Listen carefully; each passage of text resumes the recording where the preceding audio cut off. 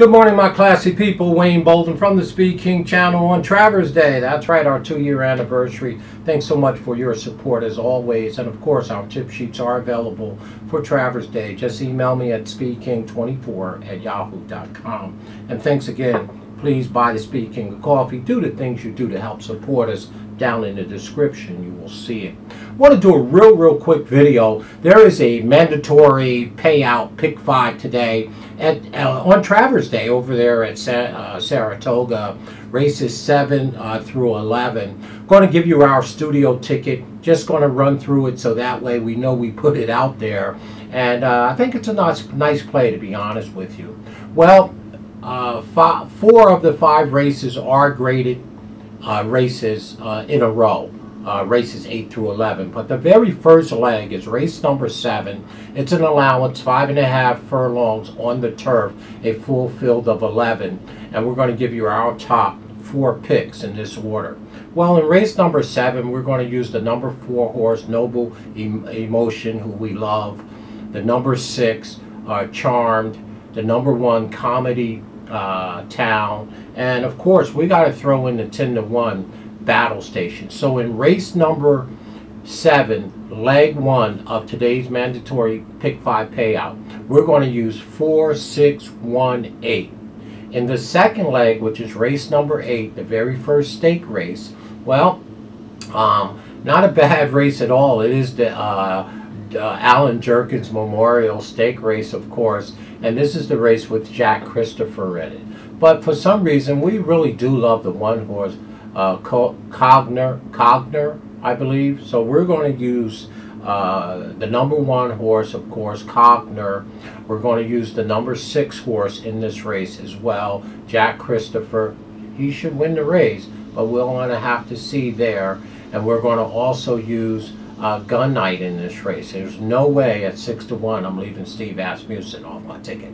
Not my guy.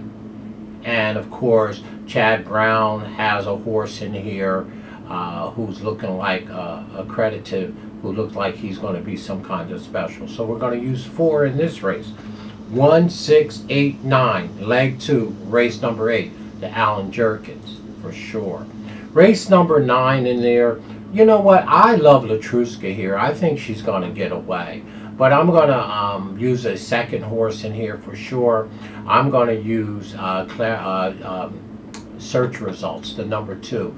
Chad Brown uh, with search results ran a beautiful, beautiful speed figure last time.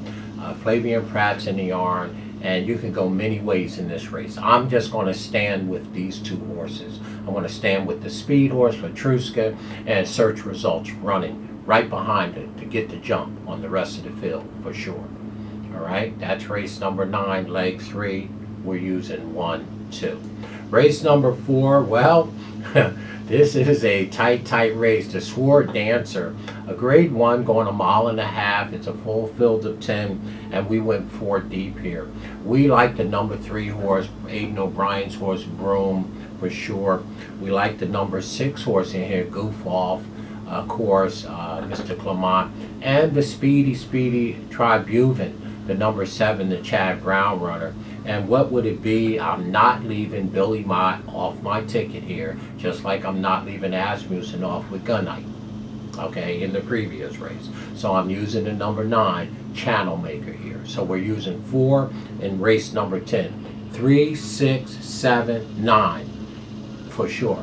And in the very last leg, which is, of course, is the Travers Stakes, well, to me, everybody knows how I feel about early voting, right? If I had to use two horses here, of course, my first top pick is going to be the number seven, early voting.